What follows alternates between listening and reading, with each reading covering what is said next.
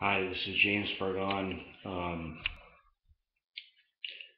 I want to uh, call your attention to a PDF put out by uh, the International Planned Parenthood Federation, which is a subsidiary of the UN, uh, the United Nations, which is a private organization representing private interests um, for whose constituents you have never, ever once voted. Let me repeat. The UN, the United Nations, is a private organization for whose constituents, or it's not the right word, for whose representatives, for whose personnel you have never voted. And they are dictating policy for the entire world completely undemocratically. Uh, there are no elections for the UN. Let's get this through our heads. UN members are appointed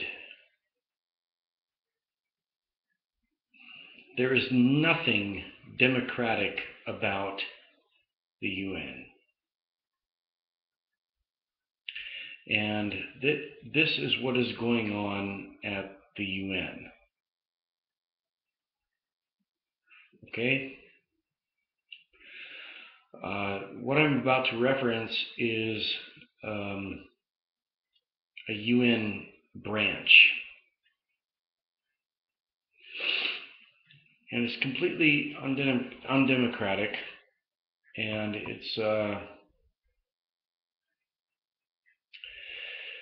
it's communism basically. Who staffs the UN? Who's behind the UN? Who funds the UN? It's all private. All private families private banking families. The same people that run the world monetary circuitry, run the UN, and run NATO to go destroy perfectly good countries like Libya.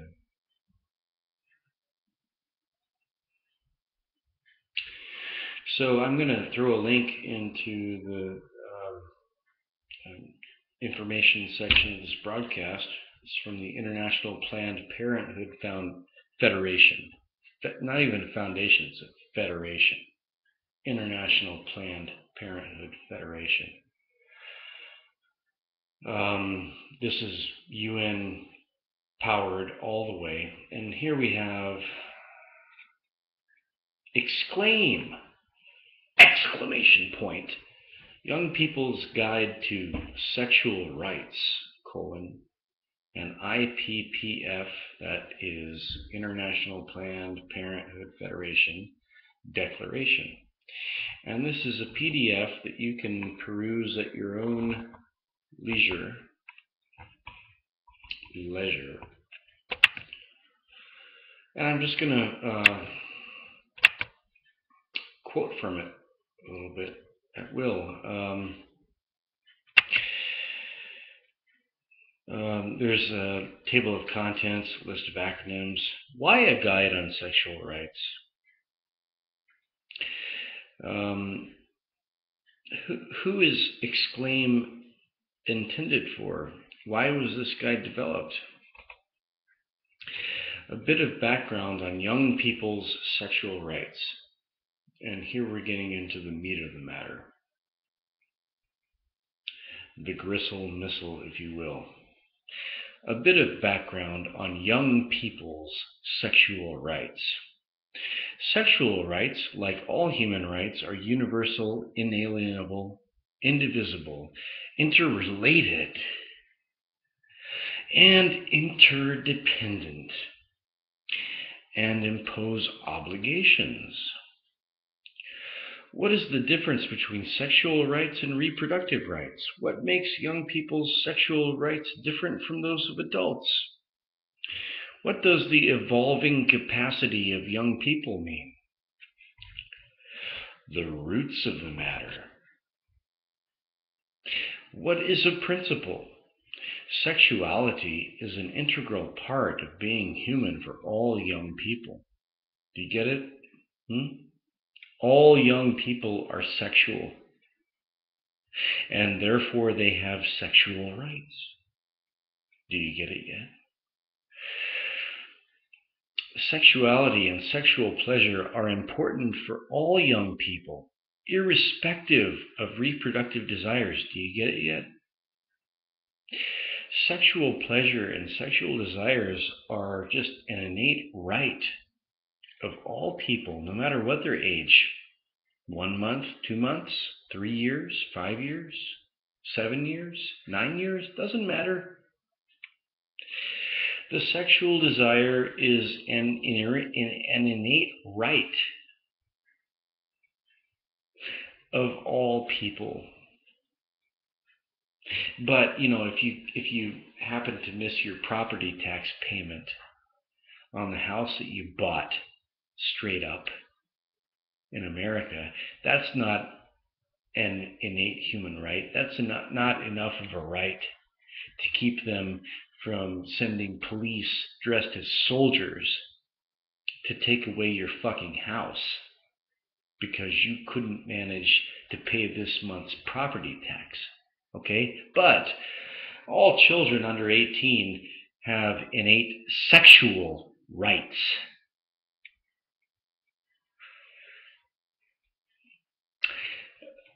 um, the evolving capacities of children and young people must be recognized.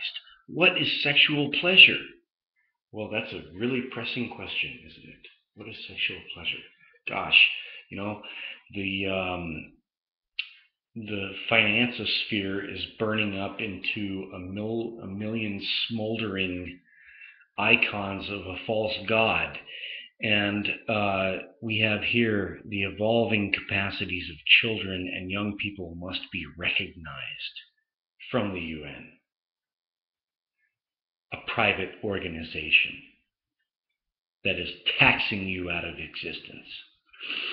Young people's sexual rights are human rights. Oh, really? Number one, the right to equality. I guess, equality between infants and adults. Make sense? The right to participation. Oh, yes. A six year old child has the right to participation in sex with um, a consenting adult. Well, at least the adult's consenting the right to life and to be free from harm. Well, say this to the hundreds of thousands of children's children that are abducted and thrown into the sex trade market by uh, Russian Jewish mafia every year, and Israeli mafia, I might add. The hundreds of thousands of women and children that are sold into sex slavery and to be characters in snuff films every year. Yeah, they have rights, right? Right. The right to privacy. Oh, yeah, privacy. Privacy is a big commodity nowadays, right? Yeah. With all the, you know, um, uh, snoop snoopery that's going on with the internet. The right to personal autonomy and to be recognized as an individual before the law, where the, well, that's the last thing you want is to be recognized as an individual before the law. That's the last thing you want. Because the law is not what you think it is. The right to think and express oneself freely. What the hell does that have to do with children and sexuality? when children express themselves freely, they draw pictures. They, they, they play with words. What does this have to do with sexual rights for children? As if there ever was such a thing. The right to health. Well, yeah. Yeah, yeah, health. Sure. What better way to ensure the health of children than to publish their manifesto of sexual rights? That all children are sexual and they should be having sex. Huh? Oh yeah. That's a that's a great plank in the platform. Yeah.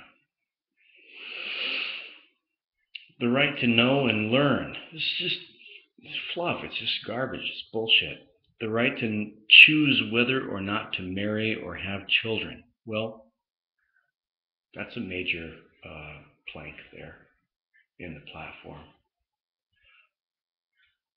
Because um, if if we give them what they want, uh, nobody's going to be marrying and having children. the right to have your rights upheld. I guess that's like, you know, you get three wishes and you make sure that the third wish is to have infinite wishes, right? Yeah. Um, this is just, this is an insane document. Uh, this is basically uh, a manifesto from the UN to sexualize children and to normalize pedophilia. Um, I'm going to put the link into the uh, information section of this video. I'm just going to read a few more quotes from it before I throw it up. And it feels like throwing it up. I mean, it feels like throwing up to um, recite it. But here we go. Sexual rights, like all human rights, are universal, inalienable, indivisible, interrelated, and interdependent. Listen to this nonsense. Listen to this fucking rhetoric. And they impose obligations. Well, I suppose, like uh, obligations on the pedos to uh, take care of their their their uh, children. Eh? Universal. Every single person in every part of the world is inherently entitled to human rights. I guess that includes, you know, like getting blown up by drones, yeah, for doing nothing except uh, being in the vicinity of someone who pissed off a dictator named Obama, Osama Obama, but Bama Osama, right? Yeah. Inalienable. Everyone is entitled um, to human rights for being human. Human rights cannot be taken away or given up from anyone, irrespective of their age, gender, ethnicity, race, religion, nationality, sexual orientation, uh, socioeconomic status, disability, HIV status, or human health. Yeah, man. Yeah. We're all so precious. We're all so special. You know, unless you happen to be a brown skinned child living in a, a Pakistani village where there's drones flying overhead 24 fucking hours a day, right? Yeah, besides that, um, human rights are universal for the homosexuals and the pedophiles, right? Indivisible. No one human right is more important than another. Um, uh, yeah, uh, uh, especially for the, the, the banksters that, that run the planet. Yeah. Um, no one uh, human is any more important than the other. For the banksters that run the planet, that's certainly true, right? I mean, uh, we have to pay for their wars and we have to pay for their uh, environmental destruction. We have to pay for their um, financial gains, and for their uh, fiat money shenanigans. We have to pay for all that. Uh, and the, the people below them are uh, simply nothing. But everybody has equal universal human rights. Right. right. What is sexual pleasure? Sexual pleasure is much more than mere physical stimulation or orgasm. It refers to diverse forms of emotional, psychological, and social fulfillment. Sexual pleasure for some people can be sharing an intimate moment lying next to a partner. For others, it can be feeling a sense of acceptance and affirmation, affirmation of one's sexual identity. Others may also feel sexual pleasure from providing mutual pleasure or stimulation with a partner. Some aspects of sexual pleasure are individual, while others are more social. Gangbang. A person's idea of sexual pleasure can change and differ from one situation to the next. Unfortunately, mainstream media often gives the false impression that the height of sexual pleasure for all people is orgasm. Well, it is. I mean, it is the height, right? Well, but don't listen to common sense. It is important to recognize that the very notion of sexual pleasure is shaped by an endless mix of social, individual, cultural, political, and economic influences. Nice way to intellectualize uh, an amazing experience that is um, indescribable. Nice way to describe it. Um, an endless mix of social, individual, cultural, political, and economic influences. Right. Have you ever had sex? I mean, come on. Have you ever had sex? Is that what it was? An uh, endless mix of social, individual, cultural, political, and economic influences? Is that what it was? Yeah. Um, therefore, the meaning of sexual pleasure can vary considerably. I'll tell you what this is, man. This is a PDF manual meant to sexualize children and to make pedophilia mainstream. This is what the UN is trying to do nowadays, is trying to make pedophilia mainstream. This is a branch of the UN spewing their fucking academic bullshit to try to make pedophilia mainstream. That's what it is.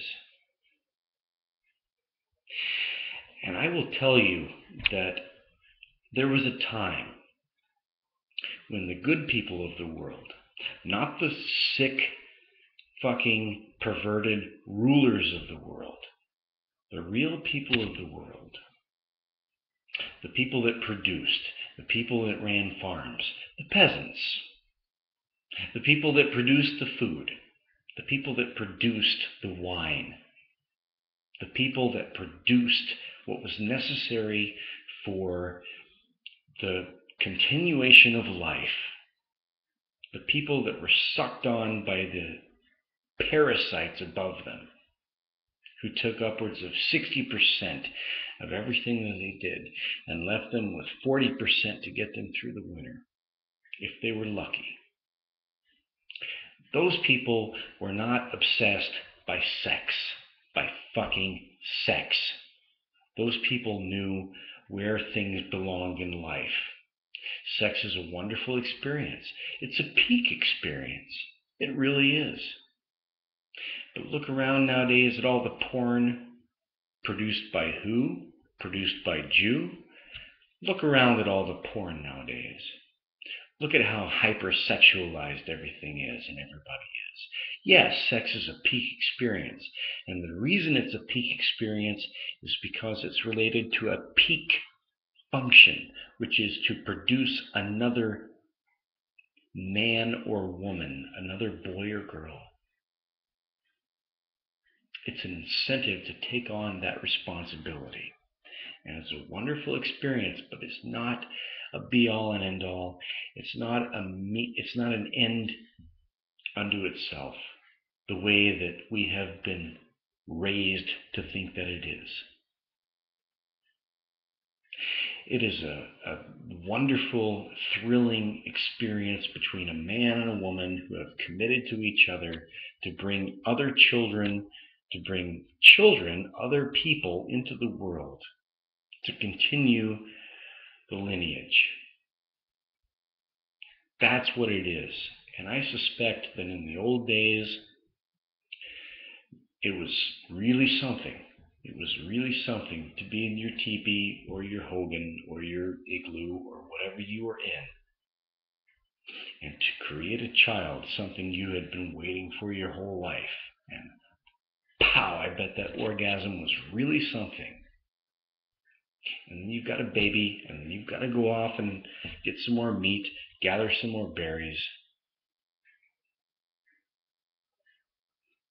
There are other things more pressing things in life than just sitting around and humping as a thing in and of itself, which is what the elites are very fucking into. And that's what they want us to be into. And that's what the homosexual agenda is all about. And that's what the pedophilia agenda is all about. Sex for sex's sake and pornography you know, just just organs grinding on a screen. Like there's nothing more serious in life, like defending yourself from elite predators.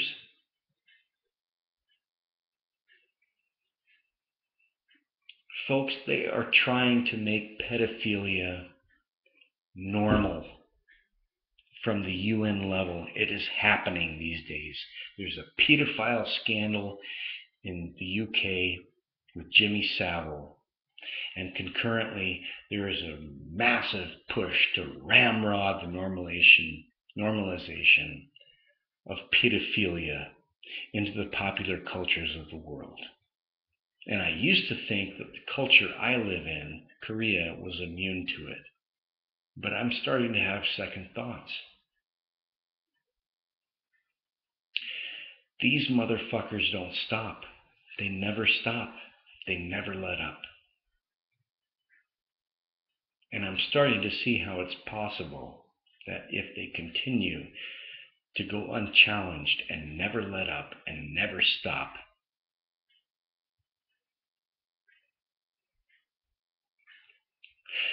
eventually people will roll over and say, oh yeah, well, what can you do? What can you do? It's the way of the future, right?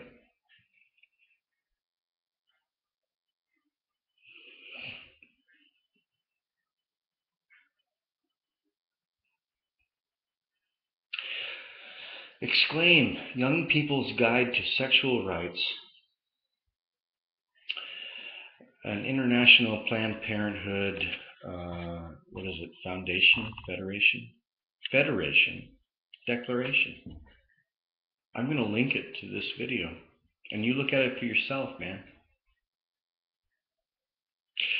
Children have the right to explore their sexuality with adults. This is what the fine folks at the privately owned UN are pushing.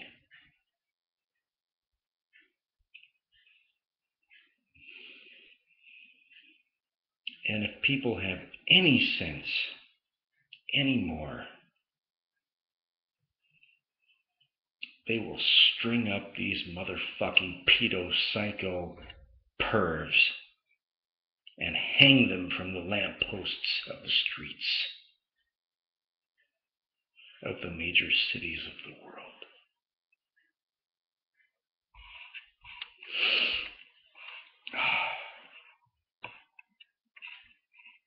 Now I have to, um, I've been ranting on so long, I I lost my um, upload screen, so I've been going on for 25 minutes.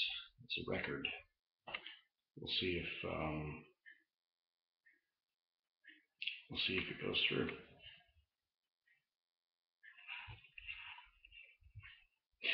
There will be a follow-up to this video. Over and out.